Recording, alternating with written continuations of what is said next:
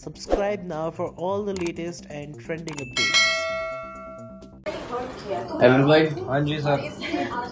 कैसा लग रहा है कल आप यहाँ से यहाँ हो गए भाई यार तुम डरा रहे हो यार।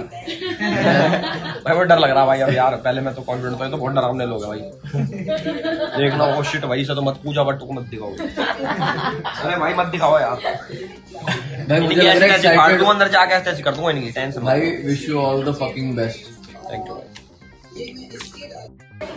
लीजिए भाई, ये वीडियो है कुछ उन लोगों के लिए जवाब जो कि ये कर रहे हैं, एलविश यादव तो बिग बॉस के घर का हिस्सा होंगे ही नहीं।